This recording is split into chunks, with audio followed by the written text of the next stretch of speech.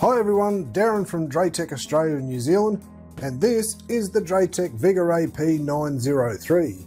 The Vigor AP903 is a concurrent dual-band 802.11ac wireless access point featuring Wave 2 technology with 2x2 MU-MIMO. MU-MIMO stands for Multi-User, Multi-Input, Multi-Output and is basically a high-tech way of managing multiple connected devices while reducing congestion.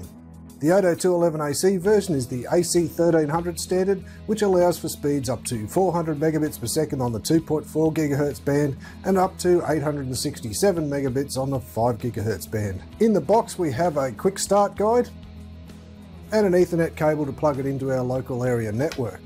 We also have some screws if we want to mount it on a wall and there's some slots in the back of the AP to allow for that. Up the top here we have two detachable antennas which are 2 dBi for 2.4 GHz and 4 dBi for 5 GHz. They use a standard SMA connector which makes it easy to screw on higher gain antennas if you need to extend the range a little. Like the DrayTek ANT1207 or the directional ANT2520.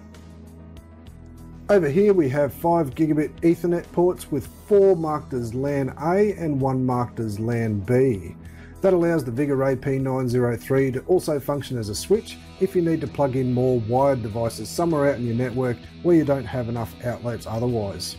A classic example is in my house where I only wired a dual outlet in the rumpus room and my kids have since turned it into a PC gaming room with multiple PCs that they prefer wired rather than wireless, but they still want Wi-Fi for their tablets and phones. The LAN B port also allows the creation of a port-based VLAN or virtual LAN to segregate your wired devices into separate network segments, which you might do for either security or for performance reasons. On the wireless side of things, it also supports up to four SSIDs for each Wi-Fi band. That's for both the 2.4 GHz and the 5 GHz bands, to allow you to segregate wireless devices for the same security or performance reasons. So you might want to set up an SSID in one or both bands for guest access, so guests have internet access but they can't get to any of the devices on your private network. This port here, LAN port A1, supports 802.3 AT Power over Ethernet, or PoE, which allows the Vigor AP903 to get its power and data through the same Ethernet cable. So if you have a PoE capable switch or PoE injector at the other end, you won't need a power socket for it. On the other side, we also have a USB port which you can connect the DrayTek DT201U USB thermometer into to monitor the device temperature. Apart from plugging the Vigor AP903 into the end of a cable to run as a standard access point, it can also be configured to run in range extender mode, also known as repeater mode. That means it can pick up a Wi-Fi signal and retransmit it to extend the wireless range. But the big feature everyone's talking about is its wireless mesh capability. Wireless mesh networking comes into its own when you need to run multiple wireless access points to extend the wireless coverage over a large area. Running multiple wireless access points tends to get tricky to manage. Problems arise such as if you get two wireless access points too close together on the same radio channel, they can drown each other out where you might get too many devices connected to one wireless access point and bog it down when some of those devices could easily connect to another wireless access point nearby to reduce the congestion. Or if a wireless access point fails completely, it can leave a big hole in the network. One way to manage multiple wireless access points is with a wireless controller, but they tend to be fairly expensive and it also adds a risk to the Wi-Fi network. If something goes wrong with the controller, the whole Wi-Fi network might go down. A wireless mesh network though is a form of ad hoc network where the devices all talk to each other to manage the wireless traffic and coverage automatically. If one access point dies for some reason, the network will cleverly try to heal itself to fill the gap. Configuration wise, one device acts as the root while the rest act as nodes, and it'll support up to 7 nodes.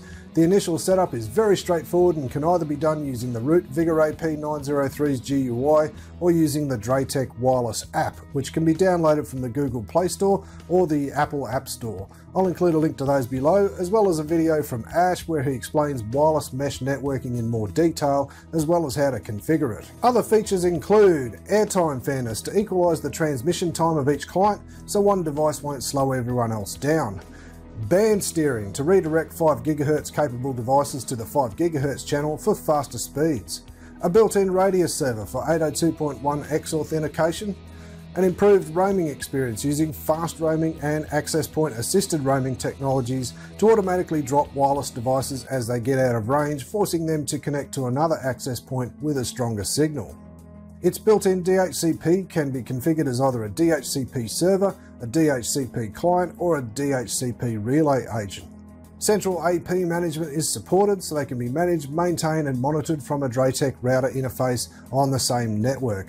And it's supported by the Vigor ACS2 central management system so they can be managed, maintained and monitored remotely.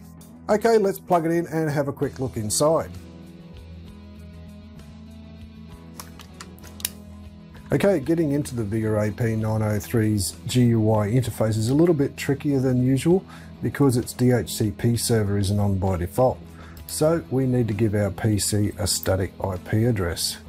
So I'll go into my Ethernet adapter properties, change adapter options, properties of that one that we're plugged into at the moment, and we go to Internet Protocol version 4, and we just select use the following IP address, and we want 192.168 dot one dot now this last number can be anything except for 192.168.1.2 because that's the address we're going to go to in a moment. I'll just choose 10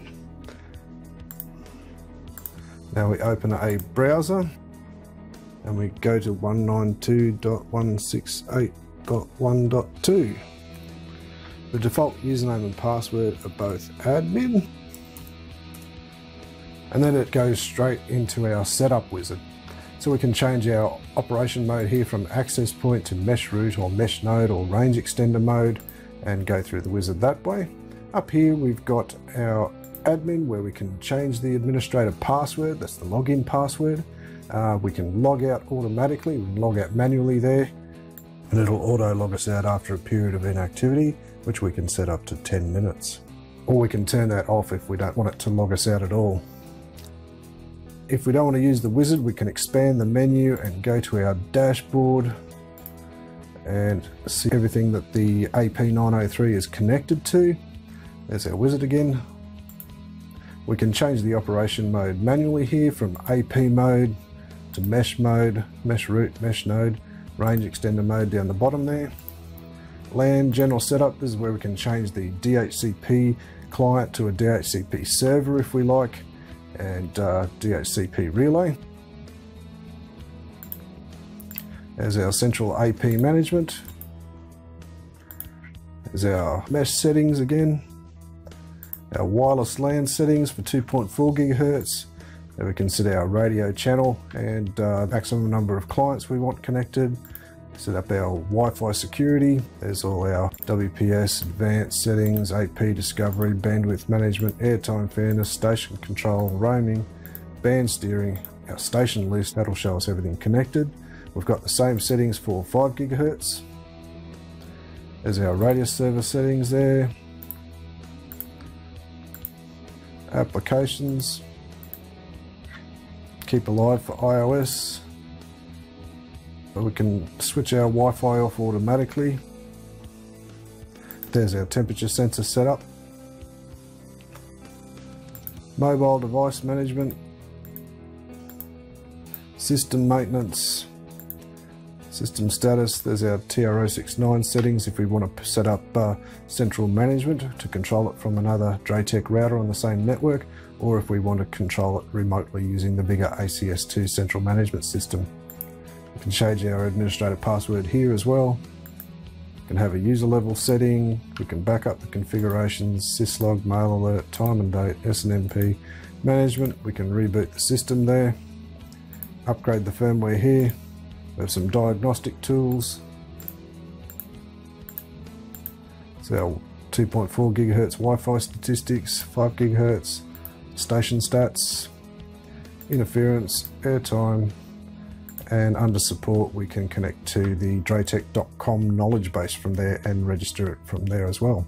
Okay, I'll include a link below to a test drive of these configurations so you can explore it in more detail later on if you like. Okay, So that is the DrayTek Vigor AP903. It comes with a two-year back-to-base warranty and is available now from DrayTek resellers. For more information about all DrayTek products, please check out our website at www.draytek.com.au. If you have any questions, please comment below or please send us an email to sales at or you can give us a call on 02 9838 Once again, I'll include a link below to a test drive of the configuration menus.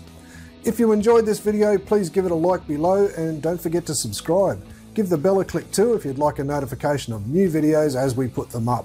Thanks and bye for now.